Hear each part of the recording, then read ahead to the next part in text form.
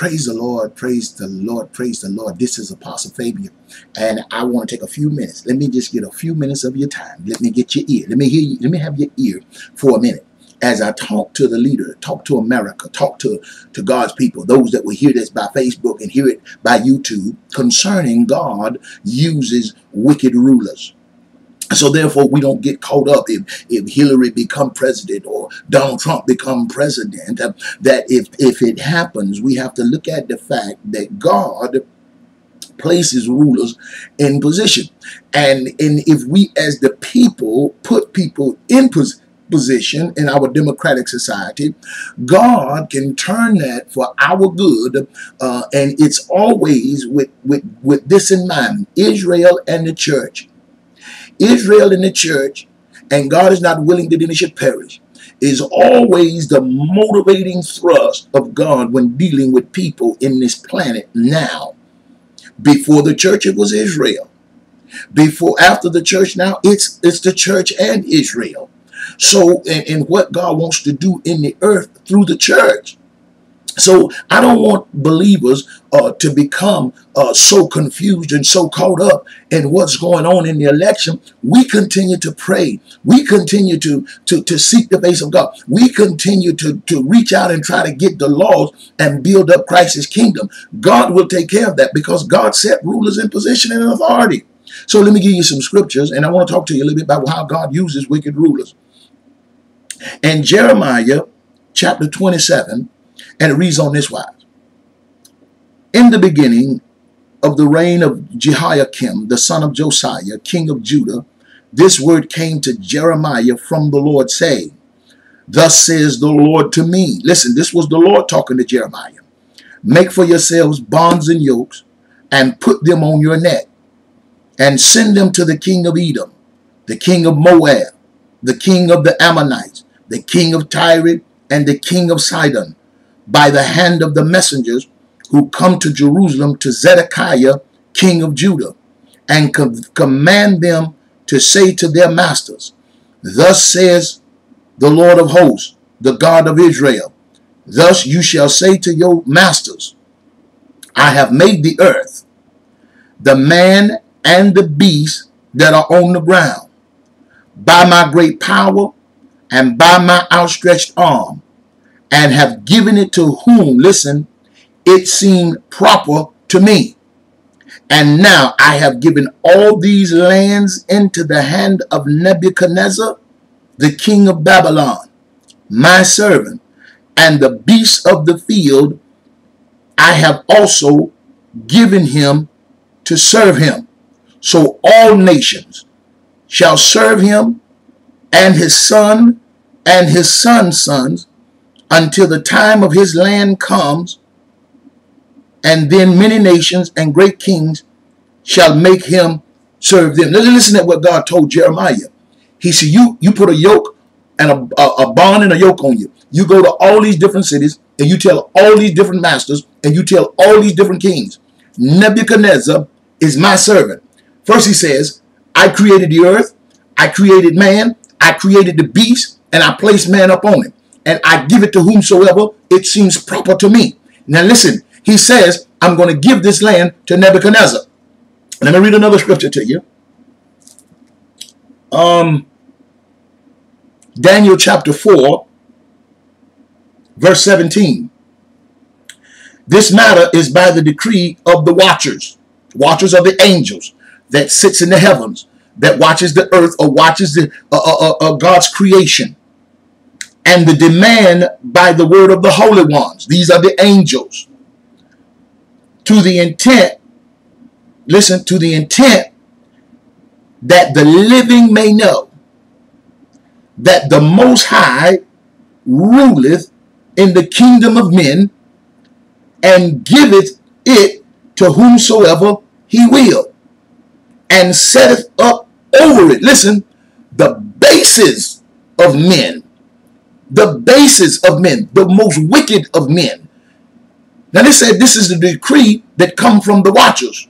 And this is a demand from the holy ones. These are the angelic beings. These are these are supernatural beings that do business for God or, or work the planet or work the universe for God. They were the watchers. And God said, listen, he told it to Jeremiah, and then in the book of Daniel, he decreed it to Daniel, he revealed it to Daniel that the watchers, the holy ones, and the Lord himself have said, I ruleth in the kingdom of men, and I give it to whomsoever I will. Now, when you do a history, and he in, in, in, in Jeremiah, he says, I've given it to his son and to his son's son. So that means that's that means that Nebuchadnezzar, Nebuchadnezzar, and uh, uh, Belshazzar, all of these in succession was going to be God's rulers of, of super world powers. This is what God had ordained. We can't get away from it. God don't want us, the church, to be worried or concerned about who's going to be in the leadership. Because listen, they can't do anything unless God permitted. And God always have an ulterior motive in hand. If I could use that word. He always have a motive, and that motive is always, listen, to protect Israel and to protect the church.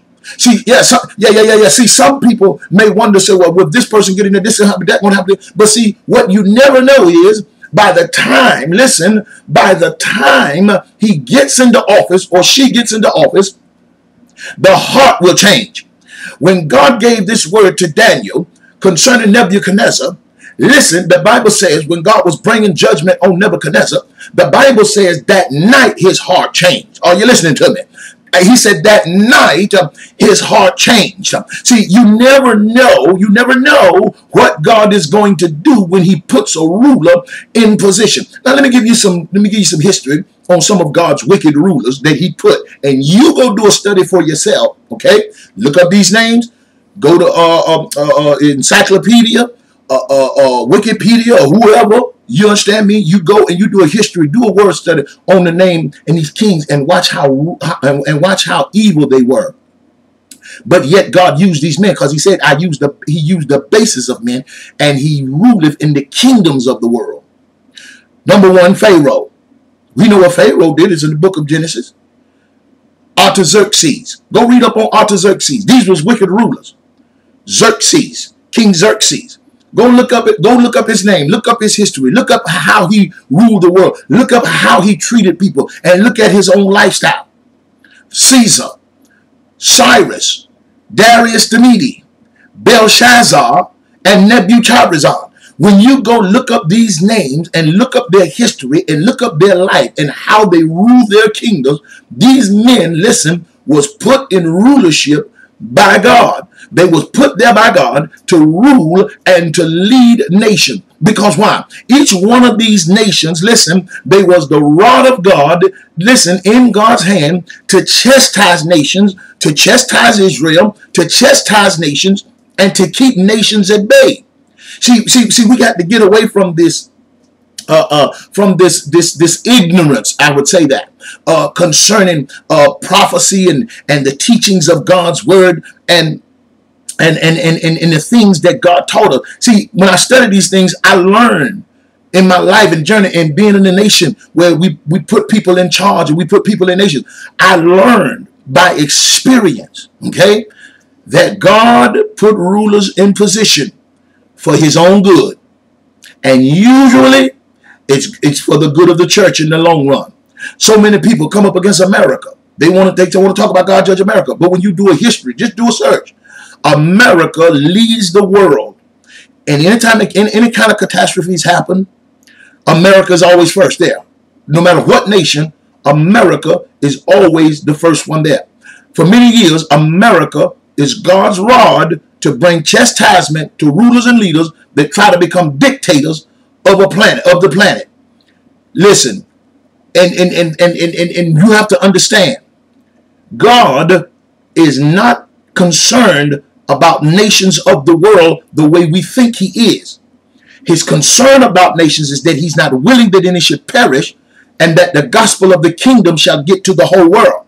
So anytime God put a ruler in position, this is anytime he puts a ruler in position, the objective is to get the gospel to the nations, listen, and to bring protection on Israel. Did you catch that? The gospel to all the nations, and then the end should come, and the protection of Israel. So listen, I'm fixing to close. I just want to give you something to get to, to meditate on. But go look it up and get back. If you make any comments, make comments after you've done your homework. Don't just blab off at me. Come at me with some homework. And you'll see, go, go study these men, and you'll see that God uses wicked rulers. I'm not for either candidate. I can't vote anyhow. Doesn't make me any difference. Whatever they do, it never affects me. Why? Because I'm in I'm in the kingdom. I obey the laws of the land. I live the way I'm supposed to live. I do what I'm supposed to do. And listen, I'm all right in the kingdom. Amen. So it's the kingdom of Jesus Christ. Listen, God bless you. I just wanted to give you this little excerpt. Love you. Let me hear from you. This is Apostle Fabian. And I'll see you again.